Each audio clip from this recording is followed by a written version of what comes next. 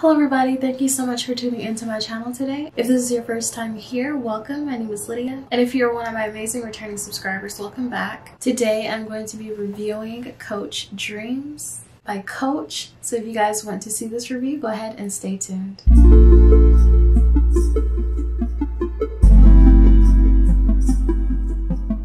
Now y'all, this is a fragrance that I was curious about and a little bit on the fence about for a while now. They had this for a while at Ulta and every time I would go on the site I would see it and I looked at the notes of it and I was just like okay it sounds interesting but it almost sounded like any other fruity floral fragrance and I actually came across this in a Ross one day so I decided to go ahead and pick it up and try it. So let me show you guys what the box looks like up close.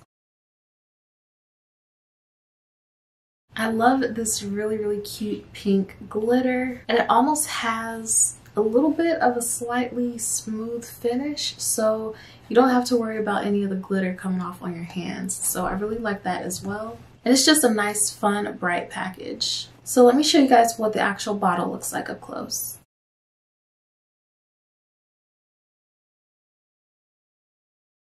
So that is what the bottle looks like up close. The bottle in itself kind of has a pretty basic design to it, but definitely my favorite feature of this fragrance is the actual sprayer because it is an actual flower and I really like that. I think it's very cool that it's shaped like that. I love fragrance bottles that don't have caps but actually have the sprayer built in. Once I opened it up and realized that that's what it was, I was very excited. Now this is a fairly new fragrance. It was launched in 2020. This is classified as a fruity floral fragrance. The top notes of this fragrance include pear, fruits, and bitter orange. In the middle notes, there's gardenia and cactus flower. And in the base notes, there's Ambroxan and woody notes. So let's go ahead and give this a spray and see how it smells.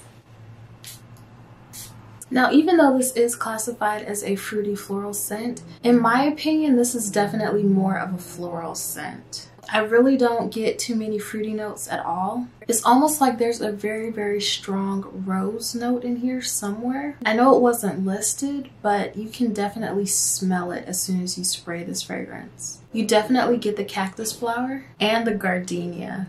And because of those floral notes, it almost gives almost like a powdery finish to this fragrance. And you definitely get a hint of the woody notes in the base as well. When you spray it, it almost smells like you're walking into a florist shop. It is a very, very floral fragrance. If you're somebody who loves florals, especially white florals, or fragrances that have more of a powdery note to them, this is definitely one that you definitely need to check out. Because of the freshness and those really strong floral notes in this fragrance, I definitely feel like this is more suited for the spring and the summer months. I mean, you can definitely work it into any occasion year round, but I feel like it would work better in the spring and summer months when things are blooming, when it's hot, and things like that. I'm typically not into really strong floral fragrances, but this, there's something different and special about this fragrance. I can't really pinpoint what it is.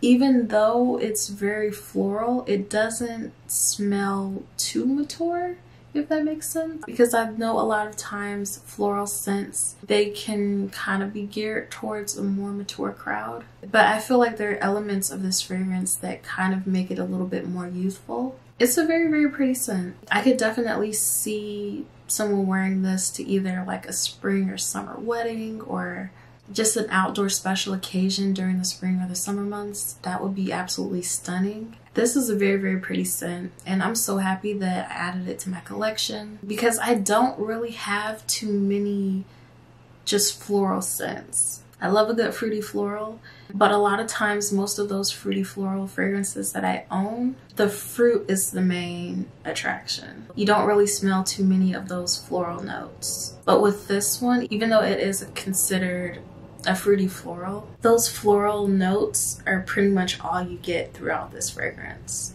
Now this is the 1.3 ounce. I'm pretty sure this fragrance comes in three different sizes.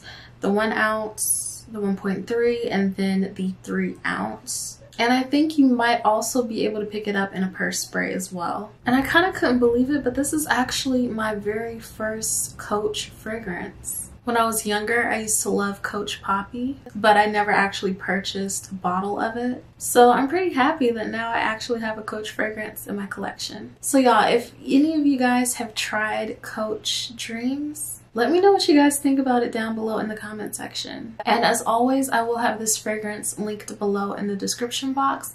So if any of you guys want to pick it up and try it out for yourselves, you can. So y'all, that was my review of Coach Coach Dreams. I hope that you guys really, really enjoyed this video. And as always, I hope to see all of you guys next time.